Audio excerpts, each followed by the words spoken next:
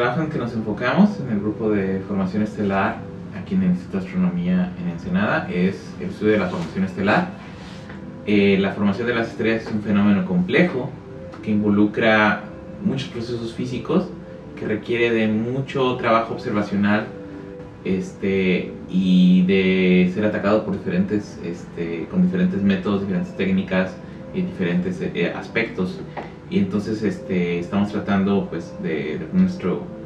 nuestro pedacito de trabajo en, en este, que es un problema muy amplio. Nos interesa entender cómo se forman las estrellas, dónde se forman, cómo evolucionan, cómo llegas de ahí a la formación de planetas, eh,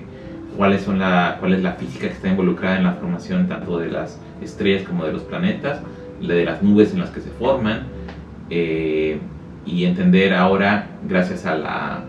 a la, disponibilidad de datos como los del Sloan el Sky Survey, eh, que nos permite tener este, información, o de Gaia, tenemos este, información sobre el movimiento de las estrellas, vamos a poder entender un poco cómo los cúmulos no nada más están los grupos o racimos de estrellas que llaman cúmulos, cómo se forman, sino además también cómo evolucionan. Yo creo que ah, una de las, de las, de las cosas que hay que resaltar en esta época es el hecho de que tenemos a nuestra disponibilidad una gran cantidad de datos que provienen de instrumentos que hace unas pocas décadas hubiéramos pensado que eran producto de la ciencia ficción. Hoy en día tenemos instrumentos enormemente precisos que nos proveen datos en muchas longitudes de onda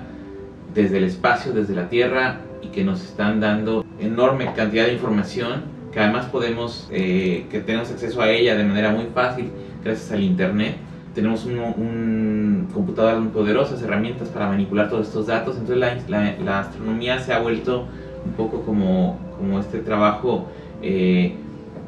que llamamos ahora de Big Data, una gran cantidad de datos, una gran cantidad de información y tenemos, necesitamos una, ahora trabajarla ya, en vez de trabajar como, como se hacía de antaño, estrella por estrella, ahora trabajamos con grandes grupos de datos. Y los avances tecnológicos que, que hay en, el, en, el, en, el, en astronomía hacen que de pronto cada poquitos años haya estas revoluciones este,